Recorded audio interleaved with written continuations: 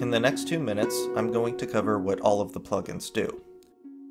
The music controller helps blend tracks between scenes. It works with any audio stream player set to a specific audio bus.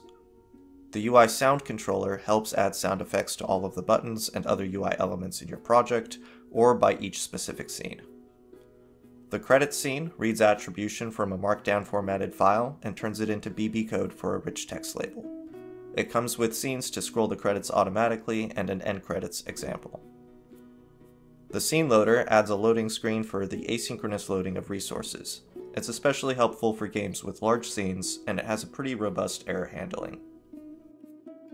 Starting with the menus, we have the Input Remapping plugin, which is a couple of scenes that can read the project's current action input map and automatically build a remapping UI for the player.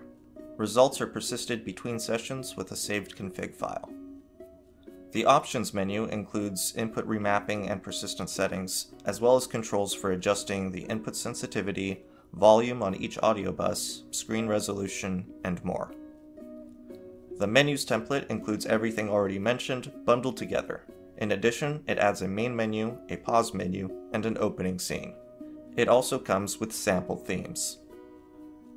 Finally, the game template includes the menus template and all of the plugins bundled in it. It adds an example game scene, win-lose screens, levels and level loaders, tutorial windows and managers, and a basic system for handling persistent game state.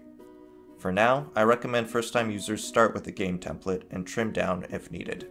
Going in the other direction typically requires nuking your existing package and reinstalling it in a bundle. And that's it for the current 1.0 release of the game template and plugin suite. Happy jamming!